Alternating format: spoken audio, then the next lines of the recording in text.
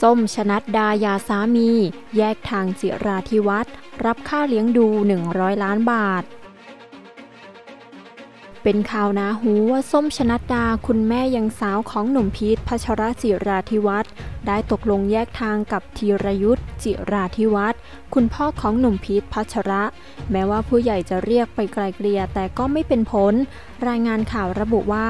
การหย่าได้มีผลเป็นที่เรียบร้อยแล้ว โดยได้มีการจ่ายค่าเลี้ยงดูมูลค่า 100 ล้านบาท โดยคุณส้มได้ย้ายออกมาอยู่คนเดียวแบบในวัย 50 กรัตโดยพบว่ายิ่งนับวันคุณส้มชนัดดายังคงความแซ่บแบบจัดเต็ม